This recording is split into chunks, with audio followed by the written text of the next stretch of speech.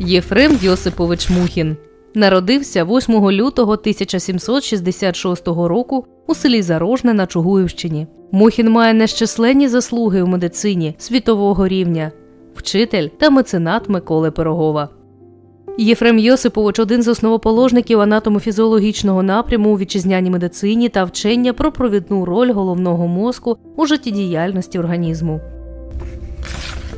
Єфрему Мухіну належить крилатий вислів лікар не анатом не тільки не корисний, а й шкідливий. Єфрем Мухін один із перших заклав основи гігієни і токсикології, займався проблемами епідеміології, був одним із ініціаторів запровадження щеплення від віспи. Організував перші пункти швидкої допомоги.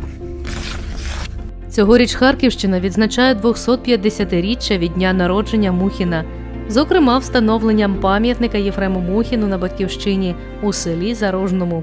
Ініціатором встановлення пам'ятника виступили Олександр Олексійович Малиш, голова Всеукраїнської громадської організації імені Пирогова Військова медицина України та віце-президент цієї ж організації Олексій Вікторович Волков.